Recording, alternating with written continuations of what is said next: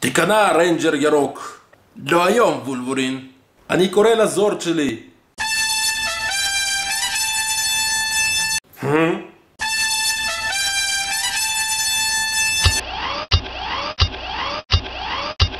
היי, זה לא הזורד שלך מהסדרה, זה Gipsy Danger מ Pacific Rim. אחי, בעיות תקציב, ומה התירוץ שלך? אם כך, אם הוא יכול, אז גם אני יכול. אני קורא לאטום. היי, זה לא פייר. באמת?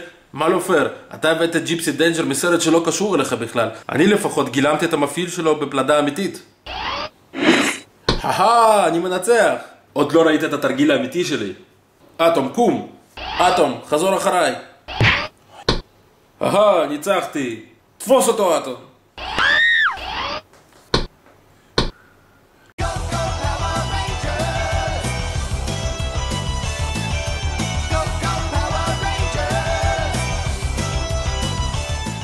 שלום לכם ילדים גדולים וקטנים בכל הגילאים, איתכם שוב יגאל מ Yigal's Mad Toys. היום אני נרגש במיוחד להביא לכם את הסיקור של טומי ה Green Ranger מתוך ה Power Rangers המקורי, ה Mighty Morphin Power Rangers. כל מי שפחות או יותר בגיל שלי, בין אם הוא ראה את הסדרה ובין אם הוא לא ראה את הסדרה, הוא בטוח נתקל בה וכולם יודעים איזה ה Power Rangers, אוקיי? יש הרבה דברים שאתם לא יודעים על הסדרה הזאת שאני הולך טיפה לפרט יותר מאוחר, אבל אנחנו נתחיל קודם כל מהאריזה ואחר כך נדבר קצת על היסטוריה. מה אני כל כך אוהב בדמות הזאת? קודם כל, אנחנו מדברים פה על דמות שתהיה מאוד יקרה בעתיד לדעתי, בגלל שאנחנו מדברים פה על Celebration 20 years. אנחנו מדברים על הדמות של טומי, ה Green Ranger, הרנג'ר הירוק, מתוך הסדרה המקורית. מאז היו לפחות עוד איזה 15 גרסאות שונות של הסדרה הזאת, עם כל מיני שחקנים, גם עם השחקן הזה בחלקם, אבל זוהי הדמות המקורית. הדמות הזאת היא ממש לא זולה, אנחנו נדבר אחר כך על המחיר שלה, בגלל, גם ביכולות התנועה שלה. וגם בגלל שאנחנו, הסמליות שלה. מעבר לזה שאנחנו רואים שהאריזה הזאת מדובר על Mighty Morphin Power Rangers Celebrating 20 Years Anniversary, אנחנו רואים שזה של בנדאי, אני תמיד אוהב את הדמויות של בנדאי בגלל יכולות התנועה שלהם. להזכירכם, חתולי הרעם שאני סיקרתי, גם שם היו מלא יכולות תנועה, זה גם היה של בנדאי. מהצד אנחנו רואים עוד תמונה של טומי ה Green Ranger, ומאחורה מה אנחנו בעצם רואים את ה Green Ranger בכמה פוזות ואביזרים שמגיעים איתו. אנחנו בעצם מקבלים את ה Dragon Dagger, שזה פגיון הדרקון, והחרב של החושך, זה sword of darkness, כאשר הוא עוד היה רע. תכף נדבר גם על זה. אני חייב לציין שבחלק באריזות, לא באריזה הזאת, אבל בנגיד ריינג'ר הלבן לצורך העניין, שזה אותו דבר כמו זה, פחות או יותר מבחינת הגודל והכל, רק טיפה שינוי צבע ושינוי קסדה ועוד כל מיני דברים קטנים, כתוב בכלל שזה מעל גיל 15 ומעלה. כי הדמות הזאת אה, היא נועדה לאספנים בלבד תכלס, כאילו אפשר לשחק איתה, אבל זה לא הייעוד שלה. עכשיו האריזה זה די אריזת אספנים, טיפה סגרו לנו פה את הדמות, אבל לסך הכל כאילו זו אריזה שמתאימה לאספנים, כי בעצם רואים גם את כל האביזרים שמגיעים איתה, אבל הכי חשוב שרואים שזה anniversary של 20 שנה, לכן מי שישמור את זה באריזה, ימכור את הדמות הזאת בהרבה מאוד כסף בעוד כמה שנים. נפתח את האריזה ונמשיך. להלן הריינג'ר הירוק מחוץ לאריזה והוא יפה יפה, אני ממש מתרגש. מצד אחד יש לו את הפשטות הזאת, אבל זה כל כך יפה. שיעור היסטוריה קצר ולדעתי מאוד מאוד מעניין. Power Rangers המקורית, ה Mighty Morphin Power Rangers, רצה בין השנים 1993 ל-1995. אבל אתם בטח יודעים שעדיין ישנה סדרה של Power Rangers שרצה בימים אלה, אבל אנחנו נגיע גם לזה. מה שמגניב עם הסדרה הזאת, שהיא בעצם ברובה לא צולמה בארצות הברית. היא מבוססת על סדרה יפנית שנקראת Super Sentai Series, ואנחנו מדברים על עלילה אחרת לחלוטין. מה שקרה שהאמריקאים קנו חלק מהזכויות של הסדרה הזאת, והם על בסיס שבועי מקבלים איזשהו פרק מצולם ביפנית, של יפנים, עם עלילה אחרת לחלוטין, עם ריינג'רים בשמות אחרים לחלוטין, הזוי לחלוטין, בכלל, שונה לחלוטין, והם אפילו בלי לדעת מה בפועל התסריט, הם צילמו בארצות הברית את הדמויות אה, מחוץ לשריונות, מחוץ לבגדים של הריינג'רס, ורק בעצם את הסצנות קרב. הם חתכו מתוך הסדרה המקורית, וזה נורא מצחיק, כי לפי מה שאני קראתי, בעונה, בעונה הראשונה הם בכלל לא ידעו על מה העלילה, כאילו זה מדהים. הם פשוט הסתכלו ביפנית בלי להבין אף מילה, אמרו, אה אוקיי, בואו נעשה את זה ככה. ה Power Rangers במקרה של העונה הראשונה בעצם מדובר על חמישה בני נוער שקיבלו כוחות מיוחדים מזורדן בשביל להילחם בכוחות הרשע, החבר'ה האלה נבחרו בקפידה, זה חבר'ה עם אופי וכו'. כאשר בעצם כל אחד, אם אתם רואים, יש לו פה מין מטבע על הבטן הזאת, הזה, ובעזרת המטבע הזה הם בעצם מצליחים להפוך את עצמם לריינג'רים, שזה בעצם אומר שהם מופיעים בטייץ, ירוק, שחור, אה, צהוב, ורוד, ויש להם כוחות מיוחדים וכמובן קסדה, מה שמאוד נחמד להסוות את זה שבעצם מי שהולך שם במכות זה היפנים. ומפה גם הולך כל הנושא הזה של הידיים over תנועות שהם עושים שם כזה, "אה", כל הזמן, וזה הכל נובע בגלל שביפן זה הרבה יותר מקובל מאשר בעצם בארצות הברית. בכל מקרה, מעבר לזה שהם הופכים לרנג'רים והיו להם מעין סופר אה, כוחות כאלה, הם, לכל אחד היה נשק ייחודי משלו, אם זה חרב, אם זה גרזן, אם זה חץ וקשת. ועוד משהו מאוד מגניב, היה להם את היכולת לקרוא לזורד. זורד זה מעין רובוט גדול, מעין של דינוזאורים בפרק הראשון, כל מיני דינוזאורים למיניהם, כאשר הם היו יכולים להיכנס לתוכו ולשלוט עליו, כל אחד על הדינוזאור שלו, והכי מגניב, שכשהדינוזאורים האלו מתחברים ביחד, היה יוצא המגה-זורד, שזה הזורד ענקי כזה שמורכב מחמישה. לגבי טומי הריינג'ר הירוק, ולמה בעצם מכל הדמויות שהיו בחרתי דווקא את הדמות הזאתי. דווקא כוחות הרשע יצרו אותו, אבל בסופו של דבר, ואחרי קרב יפה נגד אה, הריינג'ר האדום, והוא הבין שהוא בעצם לא בצד הנכון, והוא הצטרף לטובים. הוא לאט לאט התחיל לאבד את הכוחות שלו, היה לו מסע מאוד ארוך בתור הריינג'ר הירוק, עד שבסופו של דבר, דבר כוח, כוחותיו אזלו, והוא חזר בתוך הריינג'ר הלבן.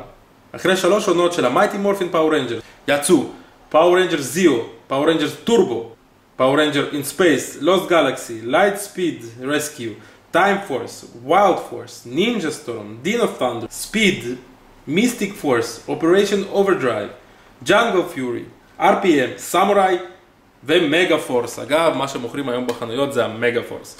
כאשר חלק מהשחקנים עזבו וחלק מהשחקנים חזרו, בעצם בכל סדרה הם נראים קצת שונה, כולם עדיין לובשים טייץ, כן, אבל נראים שונה, עם כוחות שונים וכו'. אני חושב שבלבלתי לכם מספיק את המוח, אפשר לעבור בעצם לריינג'ר הירוק. מבחינת דמיון, לא קשה לעשות דמיון לדמות שלובשת קסדה, כן? אבל מבחינת הדמיון הם עשו עבודה מאוד יפה. אין ספק שזהו הריינג'ר הירוק, ועוד משהו שמייחד אותו ולא אמרתי, שלכל שאר הריינג'רים לא היה את המגן זהב הזה. מה שאני רוצה להגיד מבחינת הפירוט של הדמות הזאת, less is more. הם אמרו שבואו נעשה את הדמות פשוט ולעניין. אוקיי? אנחנו רואים, רמת הפירוט פה יפה מאוד איפה שצריך פירוט, אם זה בקסדה, אם זה כאילו השיניים האלה שיש פה כאילו של דינוזאור והמגן הזהב וכל הדברים האלה. מצד שני, אם אנחנו נסתכל, הצביעה היא די חלקה. אוקיי? אין פה יותר מדי הצללות, אין פה שום דבר כזה. הצביעה אמנם טובה, איפה שיש צביעה היא, היא, היא נהדרת. בעצם אין אף בריחה, ואנחנו מדברים פה על דברים כל כך קטנים, כמו פה אנחנו רואים את הסמל הקטנצ'יק הזה, שרואים זהב ואדום בפנים. או למשל, את, ה, את החגורה שלו עם המטבע זהב בפנים, צבוע נהדר, בלי בריחות, ואנחנו מדברים פה על ממש ממש צביעה עדינה. אוקיי? אני מאוד אוהב איך שעשו את הדמות הזאת, למרות כל הפשטות שלה. ואני חייב לציין, למרות כל הצביעה הפשוטה, כן רואים בעצם פה מין גלים כאלה שאנחנו רואים שזה נעליים וזה לא סתם חלק. זאת אומרת, אי אפשר להגיד שהם לגמרי עשו את הדמות פשוט, אבל עדיין, במקרה הזה, אני מאוד מסכים עם העבודה הזאת שהם עשו, less is more במקרה הזה. את המגן אנחנו לא יכולים להוריד בדמות הזאת, עוד משהו מצחיק קצת, יש לו פה מקום לעשות קקי. סתם לא, uh, כנראה שיש שם בורג מתחבא מתחת, אני משער. מבחינת יכולות תנועה, אני לא מאמין שיש לי דמות אחת בקולקציה שלי שיש לה כל כך הרבה יכולות תנועה, ואנחנו נעבור לכל. קודם כל בואו נדבר על הראש. הראש יושב על שני מפרקים ולא על מפרק כדורי אחד. יש מפרק אחד בצוואר, חבר'ה, לכן תראו כמה הוא יכול להוריד את הראש שלו, תסתכלו, וכמה הוא יכול להעלות אותו. כי בעצם יש גם ציר כדורי פה על הראש, וגם הצוואר על ציר כדורי. לכן, הראש יכול ללכת לכל הכיוונים, לטעות ימינה, שמאלה, קדימה, אחורה, להסתובב. קיצור, הוא ממש ממש מבחינת תנועה אנושי, רק שבן אדם לא יכול לעשות את זה, אבל חוץ מזה הכל אנושי. עוד משהו שאין באף דמות שיש לי בגלריה היום, זה בעצם מפרק בבית השחי. אוקיי, תראו, אתם רואים, יש פה מין חצי כדור כזה, ובעצם מה שמאפשר לעשות ליד כל מיני תנועות שאי אפשר היה לעשות. למשל, להרים אותה קצת למעלה ולהוריד, לסובב אותה אחורה, לסובב אותה קדימה, זה ממש ממש ממש יפה. אני מתלהב מזה כי בעצם רמת הפוזות שאפשר לעשות הדמות הזאת היא מטורפת. עכשיו מבחינת הכתף עצמה, כמובן שהיד יכולה להסתובב 360 מעלות עם הגבלה בגלל המגן הזה, אוקיי? אנחנו יכולים לסובב, אבל אנחנו צריכים להזיז את היד טיפה אה, ימינה או שמאלה, תלוי באיזה צד אנחנו. ישנו סיבוב גם בזרוע, ישנו קיפול כפול במרפק, שתראו כמה הוא נותן בעצם לקרב את היד בלי שזה ייראה מכוער. אני חושב שהציר הזה הוא די יפה, הוא לא הורס את הדמות, זה עדיין נראה מרפק, אה, וזה מאפשר לו ממש כאילו לקפל את הידיים ולעשות מה שרוצים איתם.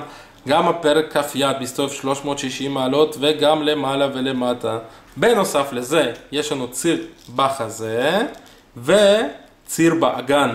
אני עוד לא ראיתי דמויות שיש לי גם וגם. בעצם אפשר ממש... בעצם אפשר ממש לגרום לדמות הזאת לרקון קדימה, אחורה, להסתובב, חצי, להסתובב, ממש ממש יפה מה שאפשר לעשות עם הדבר הזה. שימו לב שהחגורה הזאת היא בעצם חלק נפרד. מבחינת הרגליים, שימו לב, תראו איזה מפרק מדהים. גם אפשר לעשות שפגאט מלא וגם להזיז את הרגליים קדימה ואחורה בלי לסובב שום דבר. מפרק מדהים. אני חייב לציין שיש לו גם, בדומה למה שראיתי מפרק בבית צ'כי, גם פה יש מפרק כפול כזה, שאתם רואים החלק הזה הוא נפרד. בעצם מה שמאפשר לי לסובב את הירך הרבה. הברך, יש לנו קיפול כפול בברך שהוא די מכוער, אני חייב לציין, אבל גמישות שלו זה פשוט משהו. הקרסול, הקרסול גם זז למטה, למעלה ולצדדים, ממש יפה, ושימו לב, יש לנו בעצם מפרק גם באצבעות. אני חושב שהדמות הזאת זו דמות עם הכי הרבה יכולות תנועה שאני ראיתי למשל, בגודל של 6 אינץ'. אני ראיתי אנשים מצלמים את התמונות שהם שמים אותם בכאלה פוזות שחבל על הזמן. זה נראה ממש אמיתי. עוד משהו מאוד מאוד מגניב שמגיע לנו מהדמות הזאת, זה בעצם האביזרים. קודם כל אנחנו מקבלים חמש זוגות של ידיים. בעצם יש לנו אגרופים סגורים, יש לנו ידיים שמוכנות להחזיק חרב, יש לנו ידיים במין פוזה כזאת שהם עושים היו! להרים שתי אצבעות. יש לנו ידיים שמיועדות לנגן מייל על חליל הזה, תכף אני אראה לכם הפגיון חליל שלו. קיצור, יש לנו ידיים לכל, לכל פוזה שנרצה. עוד שני דברים יפים מאוד, חבר'ה. קודם כל, פגיון הדרקון. רמת הפירוט עליו הוא מדהים, תסתכלו, הוא ממש קטנצ'יק, אבל הצביעה פה ללא בריחות, בלי כלום, כל אות פה מודגשת בזהב, ויש פה כמה צבעים, ופה זהב, ופה זהב בצבע אחר, וזה כסוף. ואני חייב לציין שרמת הפירוט של הדבר הזה, וואו, פשוט וואו. בנוסף לזה, חרב החושך, או יותר נכון כנראה האופל להגיד, כי זה sort of darkness, איזה רמת פירוט, זה נראה ממש כסוף, כאילו שזה מתכת, ויש בפנים בעצם סוג של אבן כזאתי, כמו שהיא אבן שהייתה בסרט. אמנם זה פלסטיק, אבל זה נראה מדהים. גם פה בידית יש את החוטים האלה שכאילו תלויים, ושימו לב, אפילו עשו פה נקודה קטנה, כאילו זה עובר בתוך הידית. מדהים מבחינת פירוט, כל הכבוד להם. מבחינת השוואת גדלים, הדמות הזאת מגיעה ל-6 אינץ', והיא טיפה יותר נמוכה מהדמות של איירון מן 6 אינץ' שיש לי. עוד משהו קטן שנזכרתי, שטומי היה קורא לזורק שלו, לרובוט הגדול, בעזרת הפיגיון הדרקון הזה שהוא היה מנגן, זה כמו חליל גם. אז הנה, גם את הידיים האלה נתנו לנו במיוחד בשביל הקטע הזה. את הדמות הזאת גם קניתי ב Big Bad Toy Store. המחיר שלה יקר, 44 דולר פלוס משלוח, יענו באזור ה-60 דולר. מבחינתי זה שווה כל שקל. עכשיו תבינו, הם הוציאו את כל הדמויות. הם הוציאו את הריינג'ר הלבן, שטומי הפך אליו בסופו של דבר. הם הוציאו את הריינג'ר הירוק, הם הוציאו את האדום, את השחור, את הכחול, את הוורוד ואת הצהוב. ואני בחרתי דווקא בירוק מסיבה אחת מאוד פשוטה. אפשר היה להתחבר לדמות הזאת קצת יותר משאר הדמויות, כי הוא רצה להיות טוב והכל היה נגדו והכל, וזה ממש נחמד. אני זוכר שבתור ילד מאוד אהבתי אותו, בייחוד שהוא הפך אחר כך לריינג'ר הלבן והכל, אבל הוא תמיד ייזכר בתור הריינג'ר הירוק. הייתי בכיף קונה את כל הדמויות, אבל אני לא עומד בתקציב של זה, פשוט אי אפשר לשלם כל כך הרבה כסף בשביל כמה דמויות. לסיכום, דמות מדהימה, מתאימה בעיקר לאספנים. זה לא שילדים לא יכולים לשחק עם הדמות הזאת, פשוט חבל, גם על הכסף וגם רוב הילדים הקטנים פשוט לא מבינים מה המשמעות של הדמות הזאת, שזה בעצם יותר רלוונטי ל-20 שנה אחורה, מי שאז היה ילד. Uh, וגם כל החלקים הקטנים שמגיעים מהדמות הזאת לא מומלץ כי אפשר להידקר מהחרב הזאת, אומנם עם פלסטיק אבל היא מאוד מאוד חדה, לא ממליץ לילדים כל כך. אספנים, תהנו. מי שאהב את הסדרה כמוני, כמובן ישמח את זה לשים באוסף שלו, אבל קחו בחשבון שזה קצת יקר. אני מקווה שנהניתם מהסרטון שלי, אתם מוזמנים לבקש סיקורים על דמויות אחרות שיש לי. אני אשמח גם לראות את ההערות שלכם על הסרטון, בין אם זה במאפיינים, בין אם זה באימייל, ב-eaglesmedtoys.gmail.com ותפיצו לחברים. ככה בעצם הערוץ הזה יגדל ואנחנו נוכל בעצם להביא עוד סיקורים יפים. תודה רבה שהייתם איתי. איתכם היה יגאל Med Toys וניפגש בסיקור הבא. היו!